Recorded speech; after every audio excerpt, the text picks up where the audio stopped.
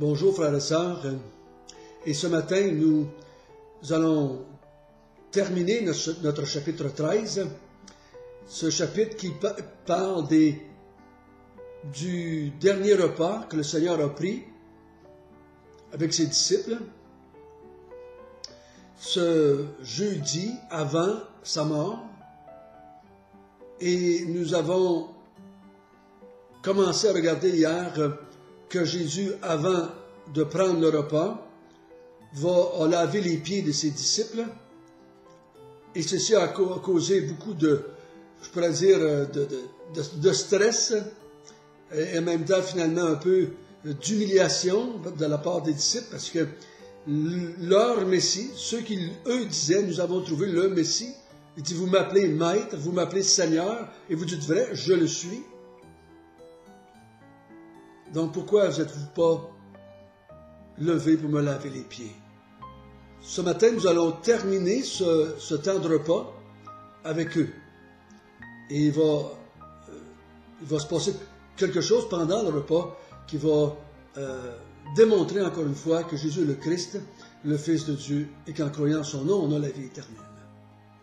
Et nous allons prier. Père éternel, nous te remercions que tu nous as laissé ces écrits que tu as stimulé des hommes à écrire le Nouveau Testament, afin que nous ayons les paroles du Fils de Dieu, les paroles de celui qu'on appelle la parole de Dieu. Et à travers ces paroles, tu veux te glorifier, tu veux te révéler, tu veux nous instruire, afin de faire de nous des vrais disciples, des hommes et des femmes qui allons adorer et servir leur Dieu. Instruis-nous encore ce matin, car nous voulons te connaître. Amen. Ce n'est pas de vous tous que je parle. Je connais ceux que j'ai choisis. Mais il faut que l'écriture s'accomplisse. Celui qui mange avec moi le pain a levé son talon contre moi. Dès à présent, je vous le dis, avant que la chose arrive, afin que lorsqu'elle arrivera, vous croyez que je suis. En vérité, en vérité, je vous le dis, celui qui reçoit, celui que j'aurai envoyé me reçoit, et celui qui me reçoit, reçoit celui qui m'a envoyé. Ayant ainsi parlé, Jésus fut troublé en son esprit et dit expressément en vérité, en vérité, je vous le dis, l'un de vous me livrera.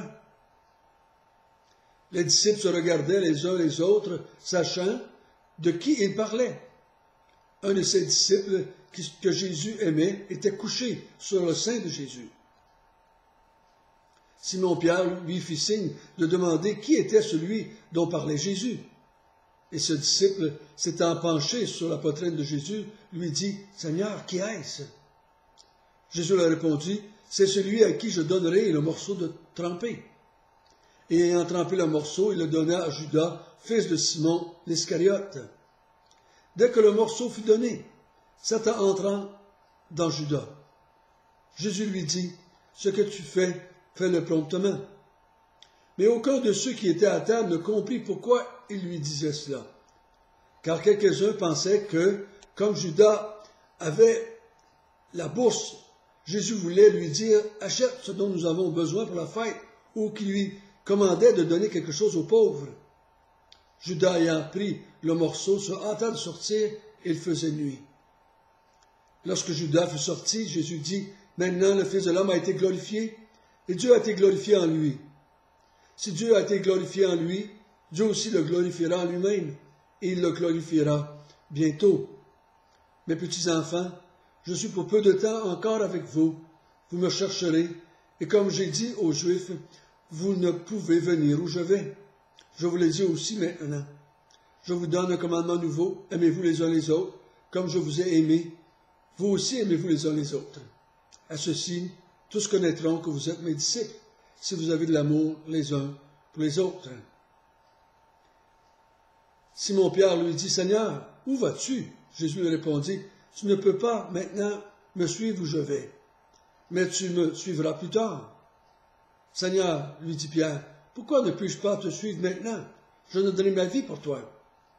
Jésus lui répondit, Tu donneras ta vie pour moi? En vérité, en vérité, je te le dis, le coq ne chantera pas que tu m'aies renié trois fois.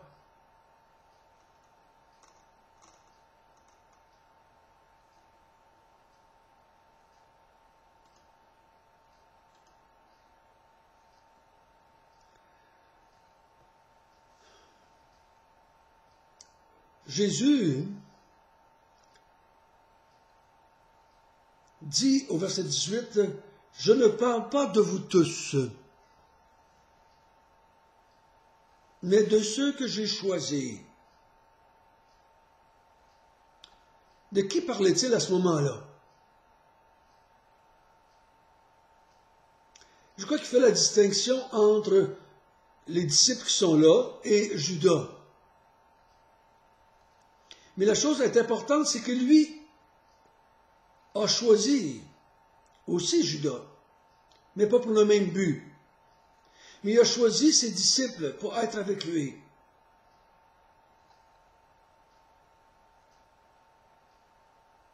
C'est lui qui va dire au chapitre 15 aussi, ce n'est pas vous qui m'avez choisi, c'est moi qui vous ai choisi. Il nous a choisis pour être avec lui. Il nous a choisis afin qu'on soit heureux en pratiquant ces choses. Il nous a choisis afin qu'on comprenne qui il est, qu'est-ce qu'il nous fait ici. Et finalement, et ultimement, pour l'adorer et le servir.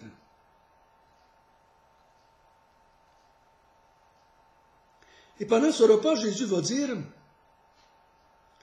il faut que l'écriture s'accomplisse. Et il cite le psaume, je pense que le psaume 40 ou 41. Celui qui mange avec moi le pain a levé son talon contre moi.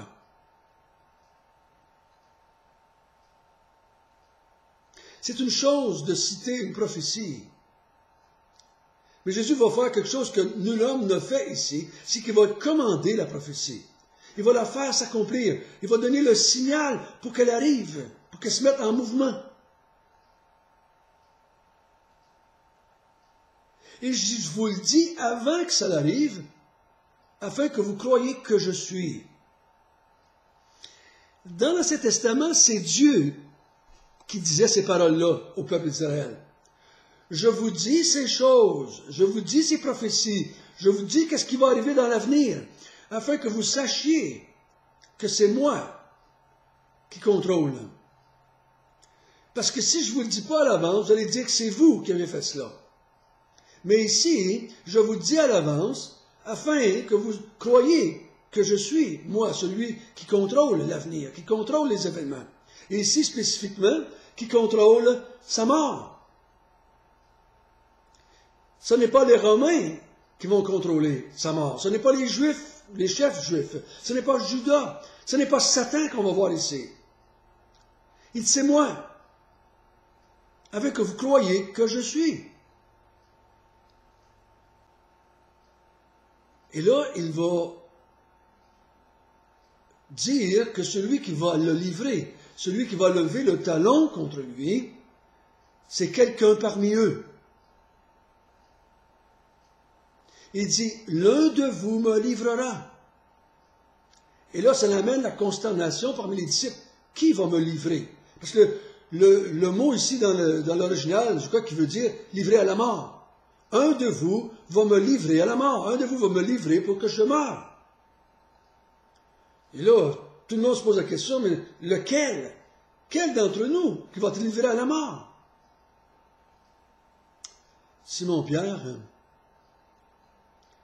qui voit que Jean est couché proche de Jésus, beaucoup ont pensé que Jean était plus aimé de Jésus, mais c'est pas vrai. C'est pas parce qu'il était couché au côté que Jésus les aimait plus que les autres onze les autres dix. Et Simon-Pierre lui fait signe, demande-y, demande-y. Et, et lui demande, qui est-ce, Seigneur?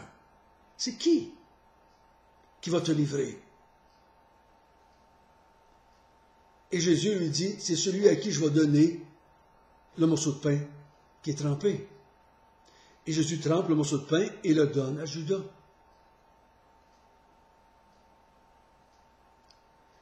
Et dès ce moment, Satan entra dans Judas Et Jésus lui dit, ce que tu as à faire, fais-le promptement. Judas se lève, se lève et il part livrer Jésus à la mort.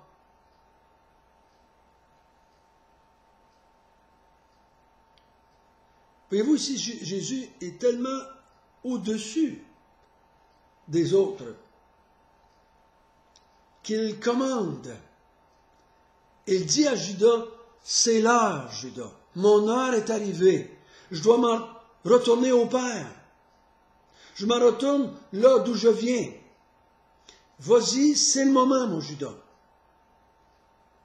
Mais en commandant à Judas, hein, il va en arrière. Et il commande aussi à Satan. Le signal est donné. Il dit aussitôt qu'il eut donné le morceau de pain, Satan entra en Judas. C'est comme si Satan était au côté puis attendait. Il attendait le moment. Et par ce signal-là, par ce geste-là, ça part, c'est enclenché, et ça ne va pas arrêter. C'est pour ça que je vous ai dit, où j'ai intitulé le titre de ce partage, Jésus organise sa mort. Jésus orchestre sa mort.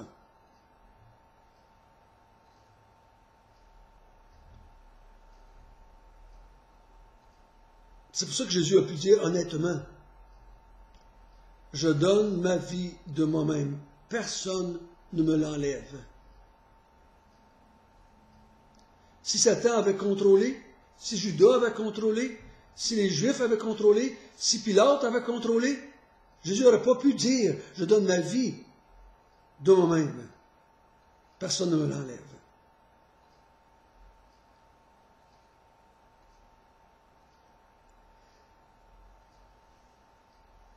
Dans l'évangile de Jean, je me répète un petit peu, on voit que Jésus est en plein contrôle de tous les événements qui se passent. Et c'est lui qui organise tout cela.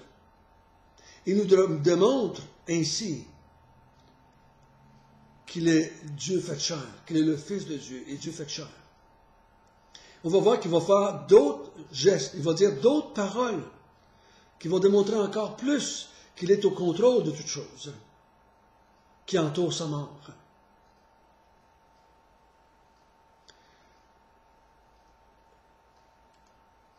Et Jean nous dit ici, personne ne comprit qu'est-ce qui se passait. Même quand Jésus a eu, l'a eu dit, qu'est-ce qu'il est en train de faire? Ils ne comprirent pas. Ils ne comprirent pas que Jésus venait de dire à Judas, va me livrer à la mort afin que je meure demain sur la croix. Ils n'ont pas saisi ça. Ils n'ont pas saisi ça, et on va le voir plus loin. Ils vont, ils, vont faire toutes sortes de choses euh, qui, manifestent qu'ils n'ont pas encore compris. Et Jésus dit au verset 31, Maintenant le Fils de l'homme a été glorifié et Dieu a été glorifié. Si Dieu a été glorifié, Dieu va glorifier aussi le Fils de l'homme. Et ça va être bientôt. Voyez-vous ce, ce, geste, ce qu'il est en train de faire, ce que Jésus a commandé en disant à Judas d'aller aller, d'aller le livrer, il dit, ceci va glorifier Dieu. Et Dieu va me glorifier. C'est un, geste qui pour se glorifier mutuellement. Il n'y a rien dans l'histoire qui a glorifié autant Dieu et Jésus-Christ que sa mort la croix et sa résurrection. Il n'y a rien. Aucun miracle qu'il a fait ne l'a glorifié autant. Et là, Jésus leur dit, si vous vous aimez les uns les autres, les gens vont croire que vous êtes mes disciples. Il y a plusieurs ici qui, pensent que si on s'aimerait les uns les autres plus, les gens croiraient plus en Jésus, se convertiraient peut-être plus. Mais c'est pas ça que ça parle. Il leur dit, si vous vous aimez les uns les autres, comme je vous ai aimé, ils vont croire que vous êtes mes disciples, que vous êtes des suiveurs de Jésus. Mais on va voir au chapitre 15.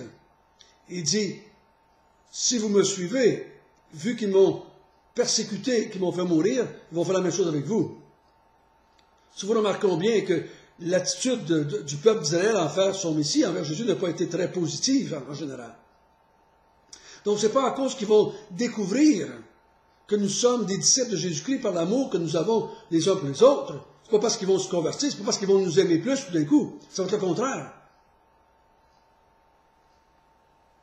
À cause qu'ils vont voir que nous sommes des disciples de Jésus-Christ. Parce que lui a démontré qu'il nous aimait en mourant sur la croix. Nous, on va aussi donner notre vie pour lui et pour les autres qui nous entourent. Ils ne vont pas nous aimer plus. Ils vont voir que nous sommes de lui, mais ils ne vont pas nous aimer plus. Ils ne vont pas se convertir plus à cause de ça.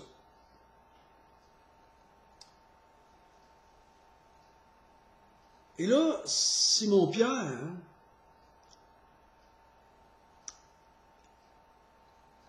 lui dit, pourquoi tu dis, Seigneur, qu'on ne peut pas te suivre? Au verset 33? Pourquoi tu dis, vous ne pouvez pas venir où est-ce que je m'en vais maintenant? Vous ne pouvez pas venir physiquement et vous ne pouvez pas venir spirituellement. Et Pierre, il, dit, pourquoi? Pourquoi? Où est-ce que tu t'en vas?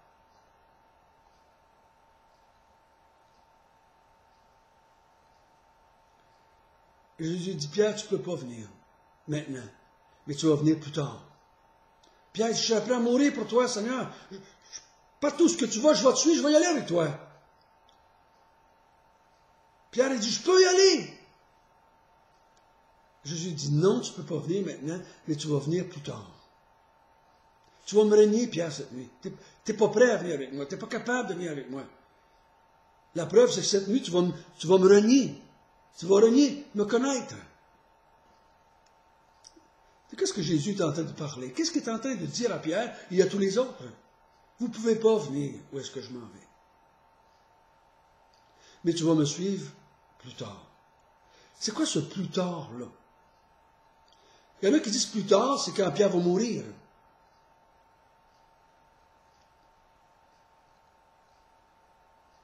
Moi, je dis non. Moi, je dis le plus tard ici, on va le voir dans le chapitre 14, demain, 15 et 16. C'est quand le Saint-Esprit va venir sur Pierre, à la Pentecôte. Tu ne peux pas venir où est-ce que je m'en vais maintenant? Parce que je m'en vais au Père. Il le dit un peu plus haut. Je m'en vais au Père. Et tu ne peux pas venir dans la présence de Dieu maintenant. Tu n'es pas prêt, Pierre, à venir là. Mais moi, je vais aller mourir sur la croix. Moi, je vais aller, je vais ressusciter. Moi, je vais monter au ciel et le Saint-Esprit va descendre. Et là, tu vas venir là où je suis. Il n'est pas en train de, lui parler quand il va mourir, mais du moment où il va recevoir le Saint-Esprit et qu'il va avoir accès au Père. On va le voir plus demain et les autres jours qui suivent pour nous qui sommes ses enfants, pour nous qui avons été choisis. Nous sommes avec lui. On ne va pas le suivre plus tard. On est déjà avec lui assis dans les cieux, Paul dit. Nous avons accès au trône de Dieu lorsque Jésus est assis. Même il va dire un peu plus loin, le Père a fait sa demeure en moi. Et le Fils va faire sa demeure en moi. Et le Saint-Esprit va habiter en moi. Donc les trois vont être en moi tout le temps. Donc, j'ai accès, je vais être avec Jésus. Je ne peux pas y aller maintenant, parce qu'en tant qu'homme, en tant qu'homme, en tant qu'être humain pécheur, je n'ai pas accès à Dieu. C'est ce qu'il est en train de dire à Pierre. Tu n'as pas accès à Dieu. Tu n'es pas capable de me suivre par ta chair, même effronté comme tu es, Pierre, même un, un, homme avec un caractère fort, tu ne peux pas me suivre. Tu aurais honte de moi. Mais avec le Saint-Esprit, tu vas m'adorer, me glorifier et me servir. C'est ce que nous faisons, nous aussi. Nous sommes euh, des gens équipés par le Saint-Esprit pour faire ce que Pierre n'était pas capable de faire à ce moment-là. Notre Père du ciel, merci de nous avoir euh, choisis. Merci de nous avoir révélé ce matin, encore une fois, que la mort ne, t'a pas attrapé, mais c'est toi qui l'as choisi et que tu as décidé de mourir afin de vaincre la mort, afin de détruire la mort finalement. Père éternel, nous étions comme Pierre, incapables de suivre, mais tu nous as rendus capables par ta mort, par ta résurrection et par l'envoi du Saint-Esprit. Glorifie-toi en nous aujourd'hui, notre Dieu. Amen.